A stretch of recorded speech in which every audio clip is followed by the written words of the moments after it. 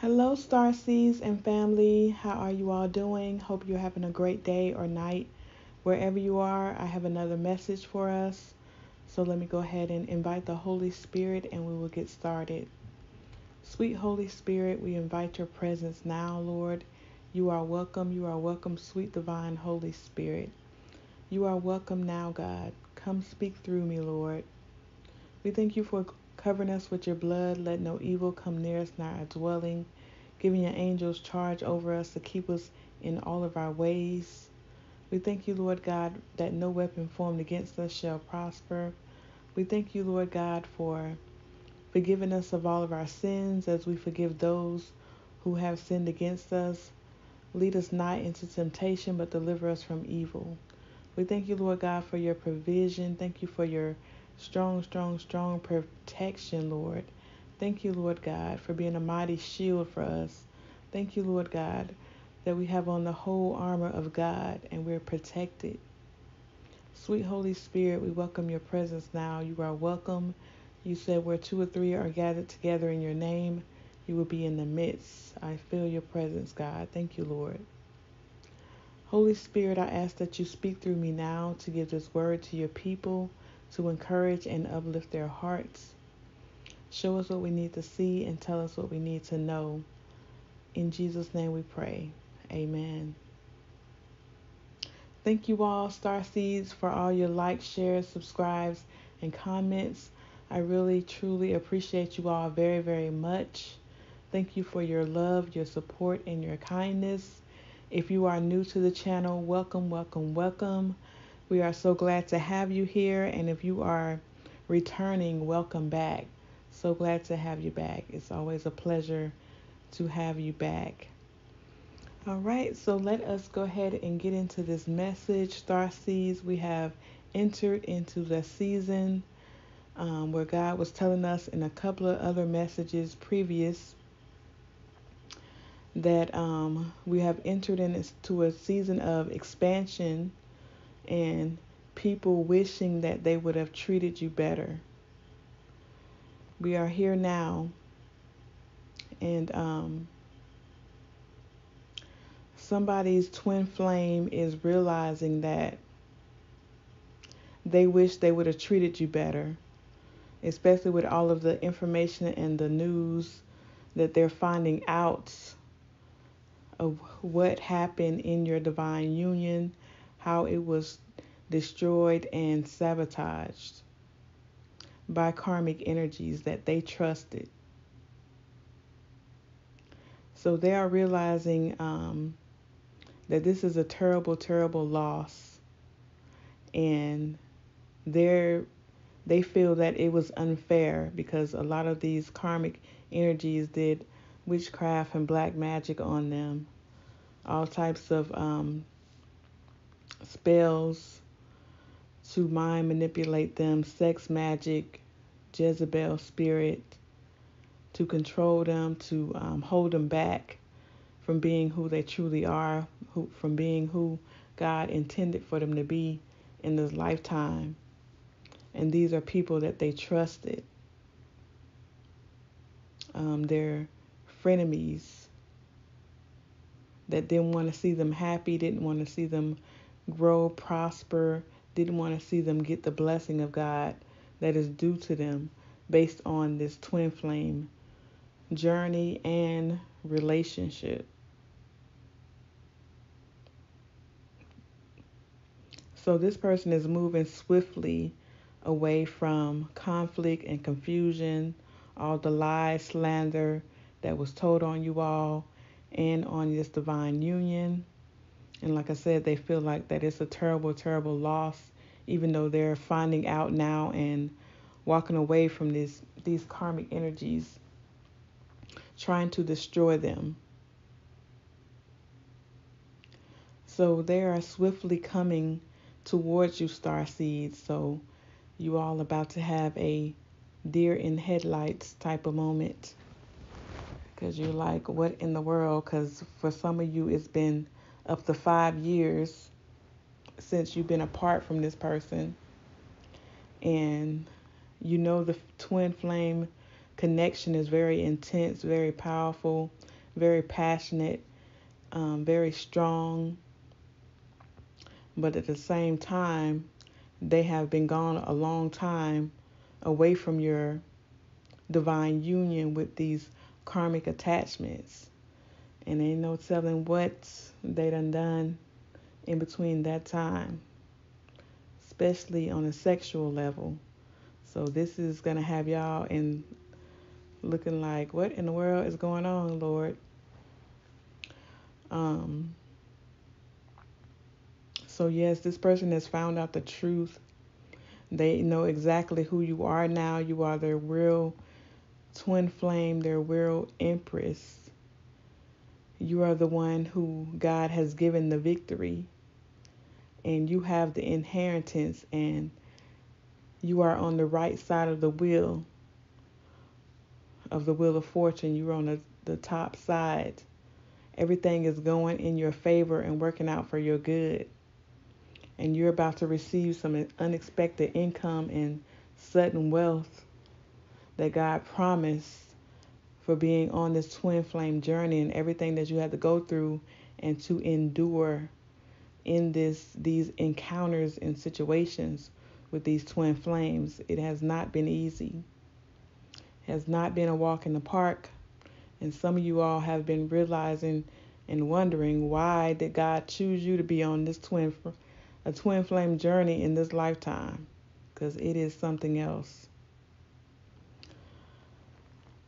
So this um your divine partner is realizing they see exactly who you are.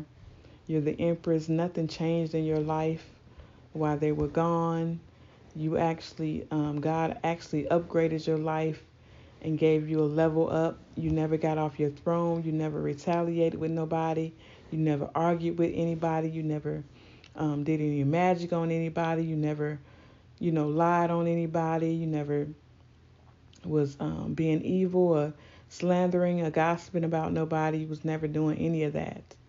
But it was them that failed to stay on their throne. They failed to lead, failed to be who God called them to be in this lifetime with you. So they had to, a lot of them were very stubborn and arrogant and narcissists themselves, and mainly how they grew up.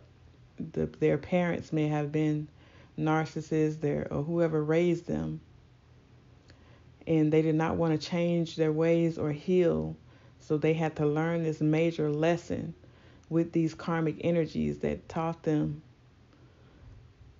that woke them up to who they really are. And so they have received um, a lot of them have received some spiritual downloads and messages from their spirit team um, letting them know the truth, and the truth is being revealed. All of the black magic and witchcraft and um, sex magic and mind manipulation, word magic, all of that has backfired on these karmic attachments, and the truth has come out. And these divine partners are wishing that they would have cut these um, karmic energies off a long time ago but they were still blind and asleep and was um, blindly trusting these karmic energies that they had their best interests in their mind and in their heart and that they were their friends their their family members or whoever and they would not do you know something like this to them. But they're realizing that this karmic that they chose karmic energies attachment was not a wish fulfillment at all but this person worked hard, very, very hard, tirelessly in the background, trying to get a reconciliation with your divine partner, trying to convince them that they were you and you were them. Had them in a huge illusion just so they can get recognition. They wanted effort without reward. They wanted reward without effort and caused a huge injustice. And they were very stubborn, holding on, being resilient telling a lot of lies and misleading people, trying to slow this divine partner down from coming back towards you to reconcile. And so these um, div- your divine partners, they're reading between the lines now. They're um, in deep regret and sorrow that they took this this huge risk that um, may have cost them everything, may have cost them their life with you, cost them their abundance, their peace, their happiness, their balance. And so these um, the divine partners, they want to evolve and grow now. They have learned a major, major lesson um, that has humbled them. And now they want to expand to the new phase of life. They want to rekindle a relationship with you, renew and grow. They have changed. They have a changed mind now. They they have went through all this these things with these karmic attachments and they're cutting things out that they used to do, no longer operating how they used to operate, separating, excuse me, separating themselves from what no longer serves them, stopping the patterns, and giving these karmic energies the silent treatment. A lot of them have ended things with this karmic and karmic attachments. Um, this is a tragic ending for a new beginning, and they have liberated themselves from this situation. And going through this transformation, this Mercury retrograde has a lot to do with it. It's bringing up a lot um, that happened in the past. Is um, going backwards to you know, not letting people sweep stuff un- under the carpet anymore. It's like pulling the covers off, pulling the wools off, the wool off of people's eyes, and causing them to, making them deal with stuff that they've covered up, all the secrets, all the black magic in the background that has backfired, all the, you know, patching stuff up, like, no, fix this hole you can't patch this up no more. You need to fix this. You need to heal. Heal your heart. And so that is what um, Mercury retrograde is doing for us in this season. And um, and this is going to be going on until the be- the new year. So, which is interesting because it's the holidays, you know, a time where people are supposed to be happy and gathering and talking and laughing and drinking, but we got um, Mer- Mercury retrograde getting people together before this new year hits.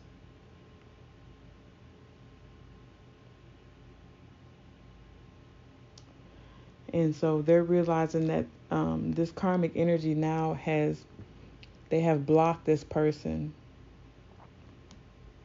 because they did not want to give up, causing imbalances for your divine union and also for you they send a lot of spell work and magic towards this situation, trying to get the will to change in their favor, but it doesn't work like that. God sits high and look low. He is looking at the hearts of everybody. People see the outside of people, but God looks at the heart. He knows the evil intentions or the good intentions of a person's heart and he blesses you according to your deeds. Whatever you sow, you shall reap it. Whatever energy you protect project out in the, in the world, that's the um the energy that you're experiencing right now. So be mindful when you're protecting evil and um, death and endings and trying to cause people not to receive their blessings just all of that. You just got to be mindful because you pretty much create your reality based on the seeds that you sow and the energy you project out into this world and also towards others. So somebody right now is heavily stressed because you're at peace and you're enjoying, you're about to enjoy expansion. And so this has somebody willing to apologize so they can get, so things can get realigned in you all's um, divine union and your relationship. This person wants to give you a higher level of commitment now, be a partnership with you because they want to have this paradise. They want to be happy, experience happiness and joy and togetherness and oneness. They want to have a, a successful, beautiful relationship with you. But uh, is that too late? That will be up to you. Con- according to what they have done, how long it's been, and how this whole situation made you feel, what where you are on this twin flame journey, all of those all of those things will have to be factored into your decision. But you need to seek God first before you deal with people, places, and, and things. Because just because they coming back don't mean that they they all the way healed or, or have learned the lesson that they needed to learn. But God knows all and He sees all. So all you have to do is ask Him and He'll let you know exactly what you need to know.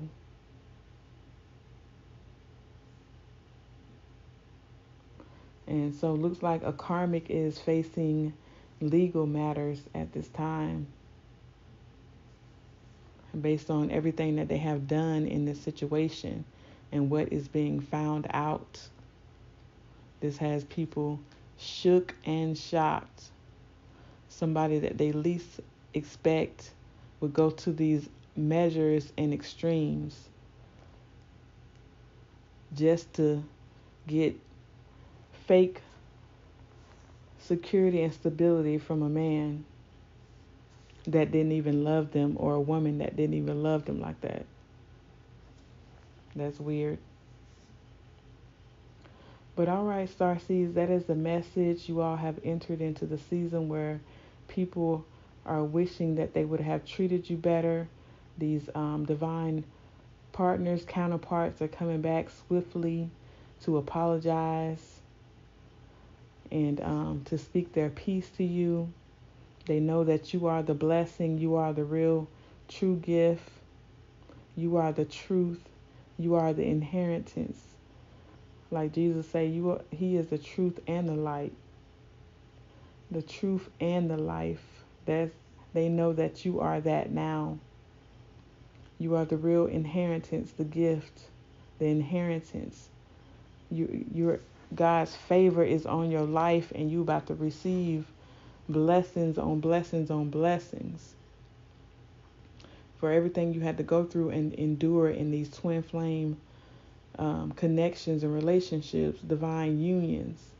And this um, divine union, this twin flame journey has woken you up to who you really are and to operate in your purpose. And um, and and let you know that this is a self-love journey that you need to love yourself before you can love anybody else. Put yourself first treat yourself right.